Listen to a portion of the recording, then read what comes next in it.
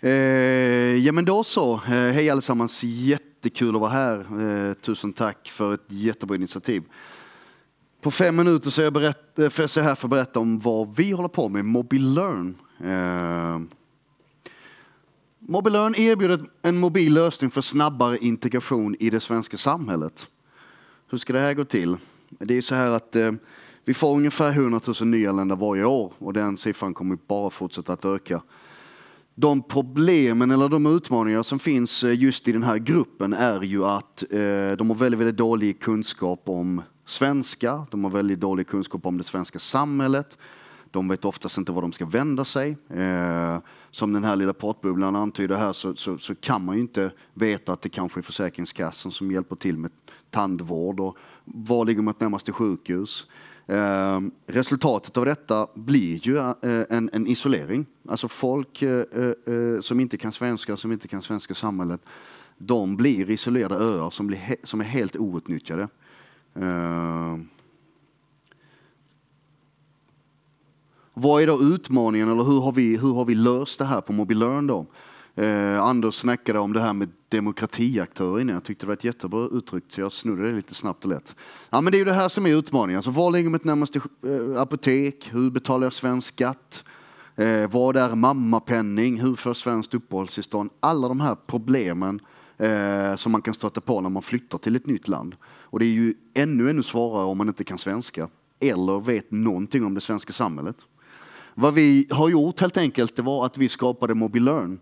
MobiLearn är en mobiltjänst som samlar information ifrån de sju största svenska myndigheterna. Och när jag säger samlar information så, sam så, så, betyder det att vi samlar all information.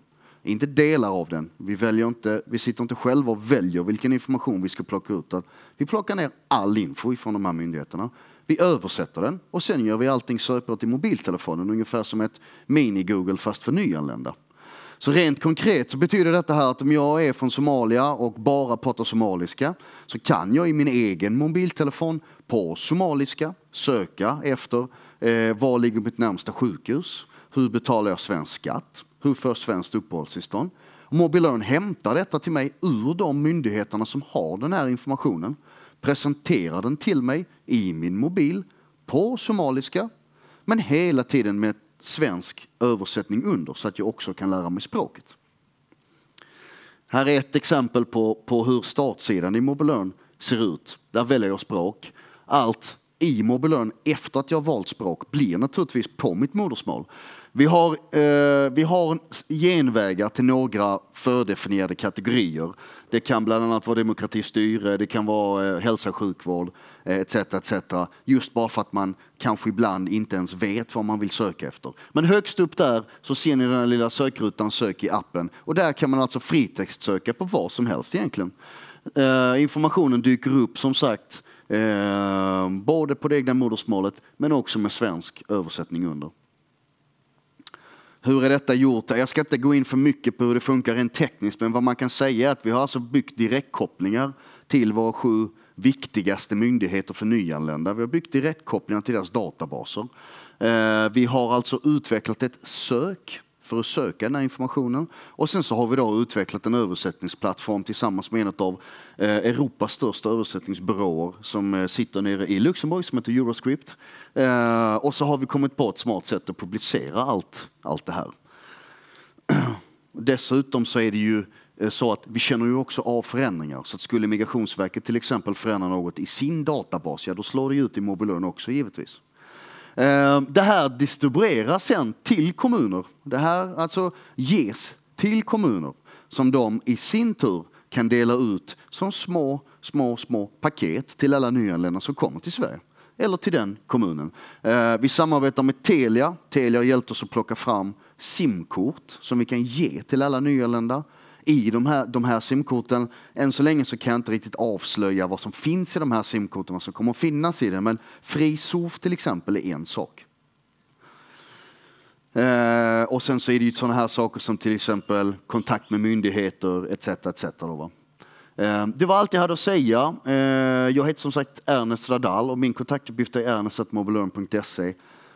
Webbsidan är då www.mobilearn.se. Kontakta gärna mig. Ställ frågor om ni har det. Yes. Första frågan. Första frågan här. Och Lilian kan göra sig beredd.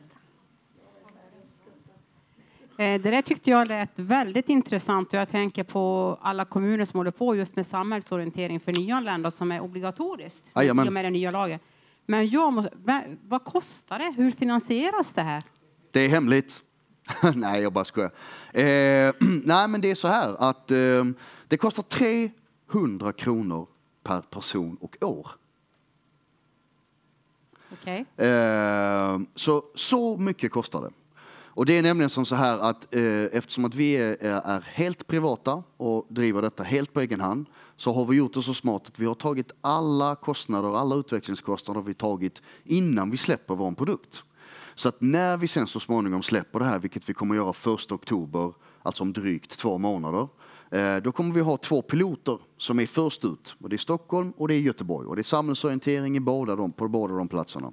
Um, och anledningen till att vi har valt att ta hela utvecklingskostnaden innan vi släpper produkten är för att vi vill verkligen att kommunerna och kunderna ska betala så lite som möjligt i ren underhållskostnad. För vi får inte glömma bort det viktiga här och det viktiga är att nyanlända ska ha tillgång till svensk myndighetsinformation. Det är det detta handlar om.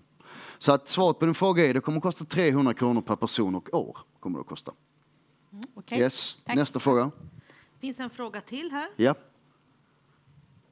Hur många språk kan man välja på i appen? Mm. Bra fråga. Eh, första versionen kommer att innehålla engelska, farsi och somaliska och arabiska. Eh, de här språken är naturligtvis tillval så att man kan ju välja själv vilket språk man är intresserad av.